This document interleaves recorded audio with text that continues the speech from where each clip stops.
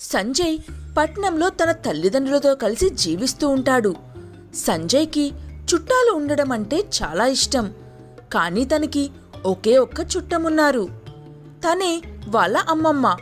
కాని సంజయ్ తల్లి తనని ఎప్పుడూ ఆవిడను కలవనివ్వదు. అందుకని తన అమ్మమ్మని ఎలా అయినా కలవాలి అని సంజయ్ గప్చుప్గా తన బట్టలు సర్దుకొని విచిత్రపూర్కి వెళతాడు.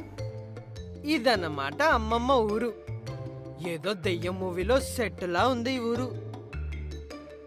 అని అనుకుంటూ ఊరిలోకి వెళ్ళి తన అమ్మమ్మ ఇల్లుని వెతుక్కుంటూ ఉంటాడు సంజయ్.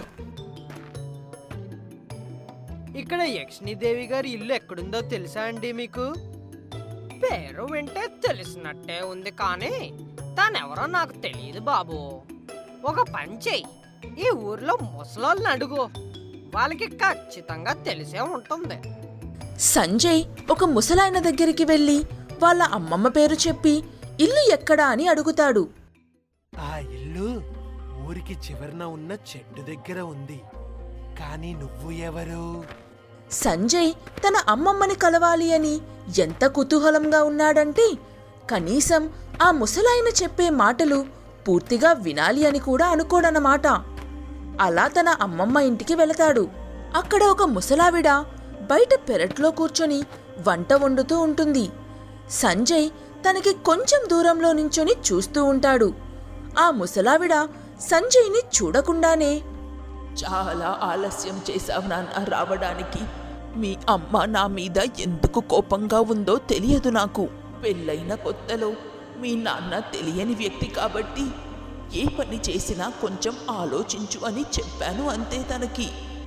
ఆ ముసలావిడ మాటలు విని ఆ మాటల మీద సంజయ్కి కొంచెం కూడా నమ్మకం కుదరదు. అందుకని చాలాసేపు తను ఏం మాట్లాడినా అలా బొమ్మలాగా నించుండిపోతాడు తన ముందు. ఏమైనా మాట్లాడతావా? లేక అలానే బొమ్మలాగా నించుని ఉండిపోతావా? నీకెలా తెలుసమ్మమ్మా? నేను ఇక్కడికి వచ్చాను అని. అలా ప్రశ్నలు అడుగుతూనే ఉంటావా? లేక ఇక్కడికి వచ్చి నా పనుల్లో ఏమైనా సాయం చేస్తావా? రేపే దివాళీ పండుగ. ఇంకా ఇల్లు కూడా శుభ్రం చెయ్యలేదు. అంతటితో సంజయ్ ప్రశ్నలు అడగడం మానేసి తన అమ్మమ్మకి సాయం చేస్తాడు. అలానే రాత్రికి ఇద్దరూ కలిసి భోజనం చేసి హాయిగా పడుకుంటారు. మరుసటి రోజు ఉదయం సంజయ్ ఏవో సామాన్లు కొనడానికి ఊరిలోకి వెళతాడు. అక్కడ ప్రజలంతా కూడా అతన్ని ఏదో భూతాన్ని చూస్తున్నట్టుగా చూస్తూ ఉంటారు. వాళ్ళు అలా చూడడం చూసిన సంజయ్ కూడా కంగారు పడి నిన్న తనకి తన అమ్మమ్మ ఇంటి దారి చెప్పిన ముసలాయన దగ్గరికి వెళ్తాడు. తను నీకు ఏమవుతుందో కాని తను చనిపోయి ఇరవై మూడు ఏళ్ళవుతుంది. యక్షిని చాలా చెడ్డ మంత్రగత్తే. అందుకే ఈ ఊరి వాళ్ళంతా కలిసి తనని చంపేశారు. తన ఆత్మ మాత్రం ఇంకా ఆ ఇంట్లోనే ఉంటుంది. మంత్రం లేదు గింత్రం లేదు. మీరింకా పాత రోజుల్లోనే ఉన్నట్టున్నారు. అని అంటూ చాలా కోపంగా ఇంటికి వెళ్ళిపోతాడు. అదే కోపంలో జరిగిన విషయమంతా తన అమ్మమ్మకి చెప్తాడు.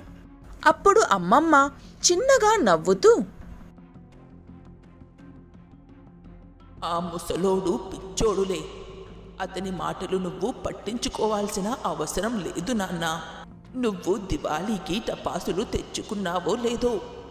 నేను కొన్ని టపాసులు తయారు చేసి ఆ కుండలో ఉంచాను చూడు. సరే అని చెప్పి వెళ్ళి ఆ కుండ మూత తీసేసరికి అకస్మాత్తుగా అమ్మమ్మ అక్కడ నుంచి మాయమైపోతుంది. సంజయ్ టపాసులు తీసుకుని బయటికి వచ్చి అమ్మమ్మని వెతుకుతూ ఉంటాడు. కానీ తన అమ్మమ్మ ఎక్కడా కనిపించదు తనకి. అప్పుడే అక్కడికి సంజయ్ తల్లిదండ్రులు వస్తారు. అది కూడా చాలా భయపడుతూ. అలా వచ్చి సంజయ్కి వాళ్ళ అమ్మమ్మ గురించి మొత్తం చెప్తుంది తన తల్లి. అంటే?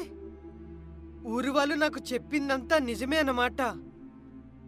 అవును మనవడా నువ్వే నాకు విడుదలని ఇచ్చావు.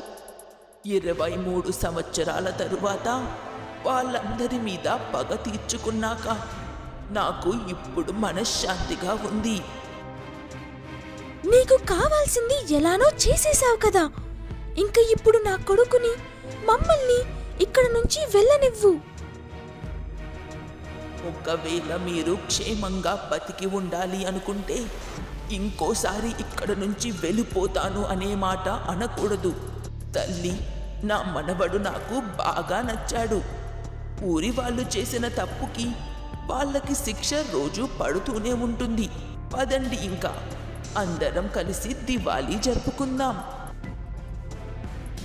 అలా అమ్మమ్మని కలవాలి అనే కుతూహలంలో వచ్చిన సంజయ్ తన తల్లిదండ్రులతో పాటు విచిత్రపూర్లో తన దయ్యం అమ్మమ్మతో ఉండేలా ఇరుక్కుపోతారు. ఇంక వాళ్ళని ఆ పైవాడే కాపాడాలి.